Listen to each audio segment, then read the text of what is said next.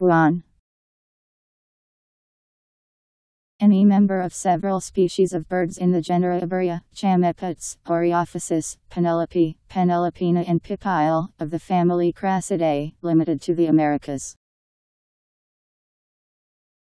G U A N